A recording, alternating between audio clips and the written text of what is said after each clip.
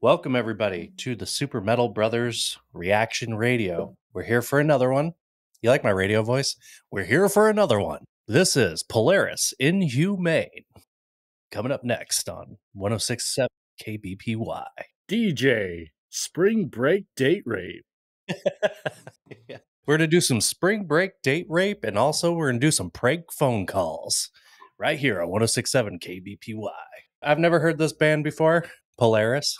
I, I've never actually heard a song by them, I don't think. They're uh they kind of came in after I started phasing out of metalcore. They're in kind of a a weird time. There was that kind of shift around the time of like Invent Animate, maybe like a little bit later. I can't really recall. Yeah, I can't tell you a single song by them because that's when I was just balls deep into deathcore at that Yeah. point. So, um, I do know this band is from Australia, which is interesting. There's, I feel like, in the wake of you know Prom Queen, Parkway, and all them, like all these fucking metal acts started coming out of Australia in full swing, man. Yep. So it's cool. But I've heard good things about this band. So I'm excited to see what they're all about. Throw us a like and subscribe. Yeah. Love you. Anyways, let's get into this fucking uh, song. Let's just do it. If you're a Polaris fan, you've been in with them since the beginning, let us know in the comments. All right, let's go. We got some bass.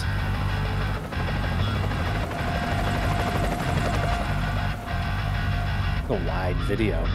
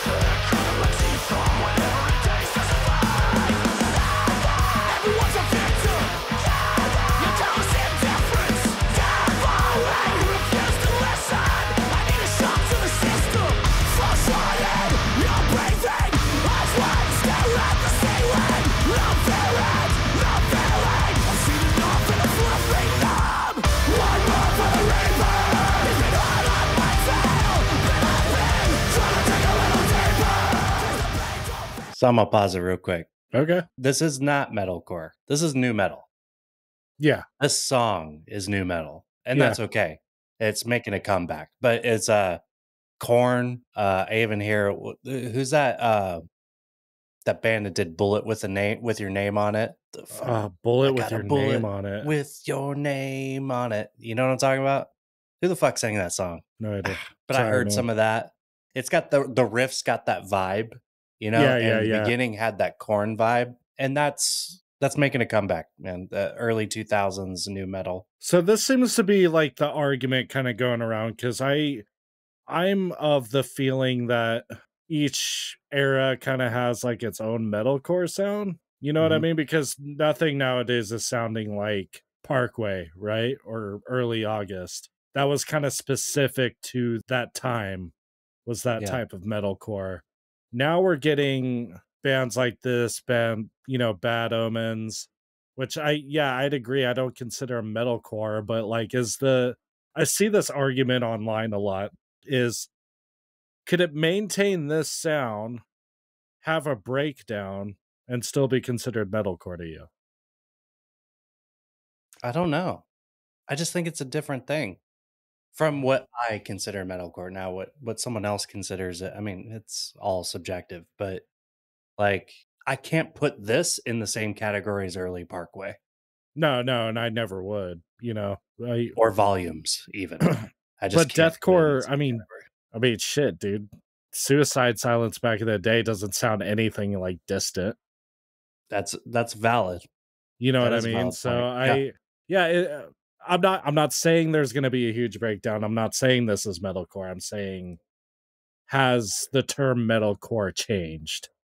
Does it change with the eras? So I don't know. Let's keep going. It's all right. Let us know. Tell us what you think. All right, let's go.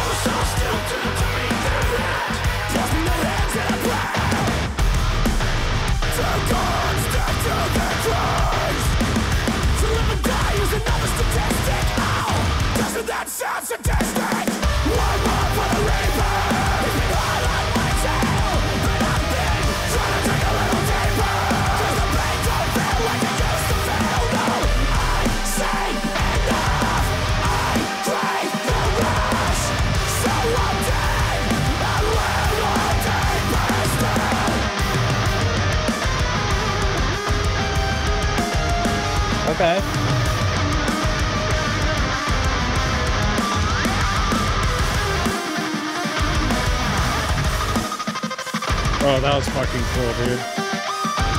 Oh.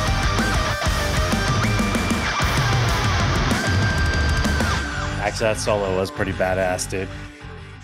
That was I was kind of blown away for a second. It's like it didn't fit into what I think of a song like this. Yeah. It was just kind of came out of nowhere. Like it- it's different too. I like the little choppy like uh, kill switch thing he did. All the real real long slides. I, I thought it was badass, dude. Yeah. So much so he was like, I'm stepping out in front for this one, dude. Yeah, I'm not fu- yeah. He had some big dick energy right Yeah, there with yeah, his guitar, dude. I got something for you fuckers. Check this shit out. Almost like he pulled the neck out of guitar from his fucking pants, dude. That was like that was a fucking Marty and fucking uh Back to the Future moment. Everybody Yeah. else is like, what the fuck is he doing? He's like, I'm gonna, I'm gonna lay down this sweet, sweet fucking solo and then go fuck my mom. or try not to fuck my mom. I Yeah, try not to fuck my mom. yeah. She just finds me so irresistible when I play solos like my this. mom's trying to fuck me. Yeah. That's yeah. We're not gonna go deep into the Back to the Future, the problems with that that movie. It's ahead of its time, some would say. Yeah. All right, let's keep going.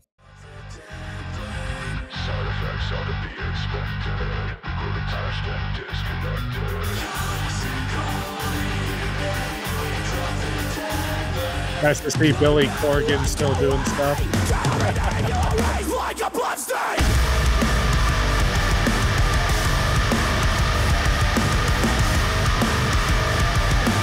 He has green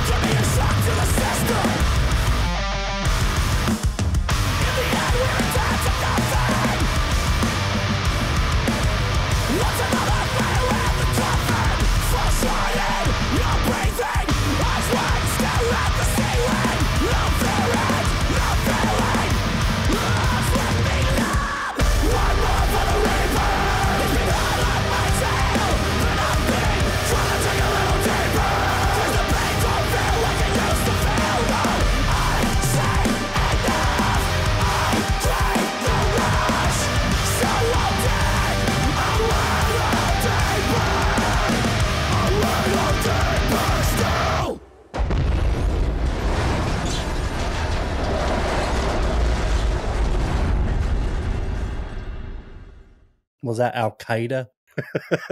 Australian accent. I don't know how to do one. It's this fucking Al Qaeda It's cunts. fucking Al Qaeda. the fucking Al Qaeda. They jumped out the bush. Watch out for drop bass. Uh, yeah, dude. Uh, that was actually that was fun. Yeah, yeah. I I mean, it did something that I wish that bands would have fucking done 23 years ago, which is put a fucking good solo in the shit. Uh, like, I Yeah, don't know why yeah. fucking all that nu metal, like all the way from like Korn to Slipknot and everything Mm. in between, like they were so against solos.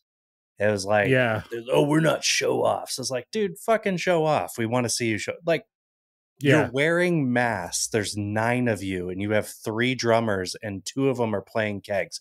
You're fucking show offs. Like, play I a mean, solo. It's okay. They eventually got past that shit. They all started Yeah, yeah, playing was fucking later. solos. Well, Slipknot did. But imagine, like, you know, that first big album, you know, with, uh, you know, Heretic, not Heretic Anthem, the one before that, the fucking number album. Wait and bleed. Self titled. yeah, Yeah. yeah, the Wait and Bleed album. Imagine that was solos. yeah because they were both. I think there was capable a version of that actually. I think they literally had like a some kind of deluxe version that they had released like years down the road that like contained some of the solos. I think there was like some like yeah, it was just a, a victim of its era where there was like, nah, let's just cut it out. They thought Yeah. they thought solos were like filler or some shit. Yeah. But, uh, like, there, there was a whole era there where they thought solos were cheesy. Yeah, so yeah, we didn't really get a breakdown, so I I would agree with you. That was very nu metal, Yeah. which uh, I mean, I mean, it was kind of a breakdown, but it was it wasn't like the slow like slower tempo Yeah. breakdown that we're getting more used to this day. It was just like a, they had like a groovy riff that they threw in there, which is more like you know late '90s breakdown. That's what like like uh a great example is that that first Linkin Park song, the "Shut Up When I'm Talking to You," like that song. Oh yeah, yeah. It's like we wouldn't consider that a breakdown today, but back then we did. It was That's fair. you know so yeah i thought it was good uh, i could see why people like them uh very nu metally that's the stuff that i listened to like way back in the day gave me like some vibes there um overall good musicianship good band can't say it's my number one thing For me, the standout was the solo. I definitely 100%. dug that part above all else. The vocals were not a whole lot of variety, but it was very consistent. And sometimes, you know, it thrives within that. Yeah, I mean, if you guys have a, a Polaris song that's maybe more metalcore adjacent, uh, you know, put it down in the comments we'll check that out, kind of see the contrast, if you will. Because I know these guys were metalcore at one point. or maybe if there's just like something that's like their magnum opus song hmm if you will put that in the comments too we'll we'll check it out we'll do it for you live All right. it's all for you baby Don't forget to like and subscribe. We love you. I'm to say that every fucking time, dude. Just fucking hit it. he I love you so much. I just need you to fucking click the like and subscribe button. It's like I love you. I fucking love you. Fucking love you. As as the life drains from- from your eyes. All right. All right. Peace out. Later.